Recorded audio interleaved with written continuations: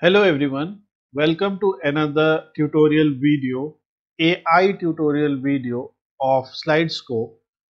In this video, we are going to use an API which is Vanna API and we are going to use this API to query SQL databases. We are trying to build a bot that can query SQL databases.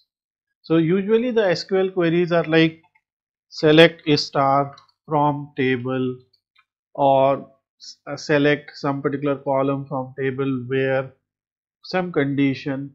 Usually the queries are like this but in this case we will use some common sentences to query the database. We will see that. So the two things that you will need first of all is you will need to say, uh, open your anaconda navigator or python whatever you feel you are best with so whatever IDE you are comfortable with, you can use that. We are using the Jupyter notebook. And first thing that you want to do is install Vanna library. So this Vanna library or package can be installed with pip. Just write pip install vanna. So in my case, since I am using Anaconda Navigator, so I will use Anaconda prompt and here I will write pip install vanna. In my case it is already there so requirement is already satisfied but in your case you might want to do this. Now after installing it you just have to the second step that you have to do is go to vanna.ai website and from here get an API key. So open get an API key. And this is a simple way of doing it right? You will just write API key is equal to vn dot get API key my example. And then you can set the API key like this way. So this will give you a simple variable where your you will have your API key. It will send a code to your email and you will have an API key. Or you can go to vanna.ai website directly and from here you can get started for free and you can then get your key. Once you have your key you just have to enter your key here in a string format. I you can ignore this particular step. I have just used this step to store my api key in a separate file and then from that separate file i'm just importing my key so that I can put here. I don't want to show the API key just for security reasons. Now what next we are going to do we'll import vanna as VN we will set VN API key here. And then we will select a model okay?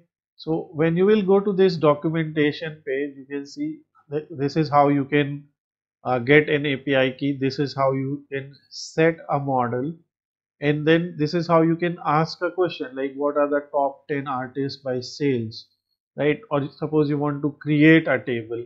So create table employee. This is the training step. So first of all what we are going to do is we will ask some questions. So for that we will connect with a sample database. And here we will connect to the SQLite database which is chinook.sqlite so this particular code will set your API key, select your model as Chinook and it will connect to SQLite, it a sample database. Then you will ask a question. So vn.ask question. So I am asking a question here, uh, show all table names. So when I will run this, it will automatically create this query. Select name from SQLite master where type is equal to table order by name. So you can see I did not write this query I just wrote show all table name and then it is giving us all table names. In these table names albums, artist, customer, employee, invoice there are many such cases. Now we will copy this and here you can see the table names it is giving us this uh, nice interface also and this is these are some follow-up questions also which are AI generated. Like what are the columns in the playlist table? How many rows are there in the employees table? And things like that. So usually what are the columns in the a playlist table? We can add select a star from playlist. Uh, then we can add select count star from employee. But this time we are going to do differently. So let's say show employee. Let's let's select all columns. So what are the columns in the employee table?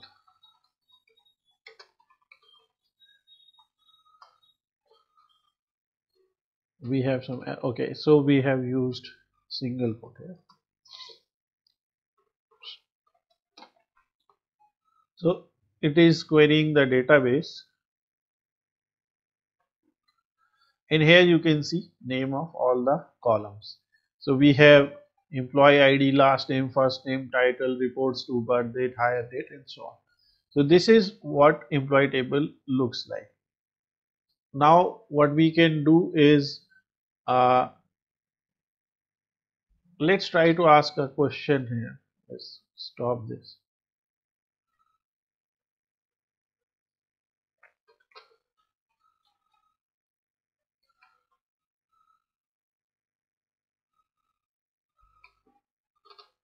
print name of those employees who are 55 years old who are or who are older than 55 years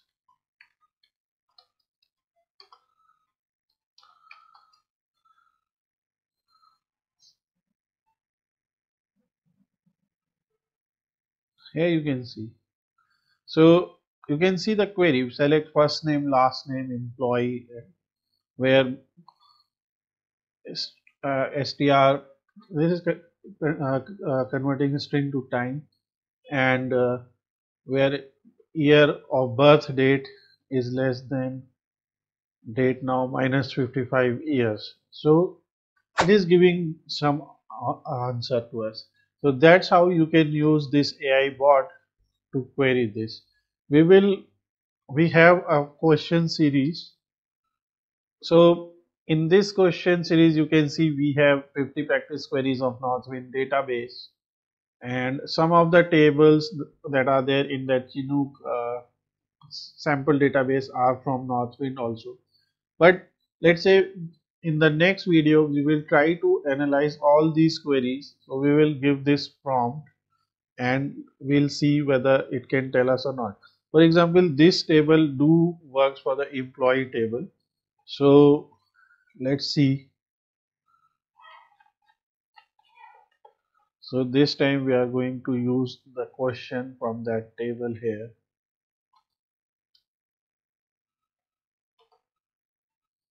create a report that shows the employee id order id customer id required date ship date from all order ship data so let's say if it can. Obviously it uh, should have the orders table.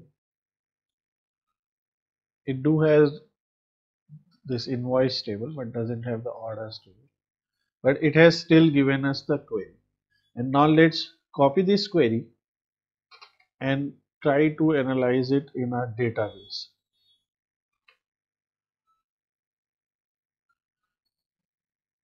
So obviously you have to change employees employee to employee orders to order.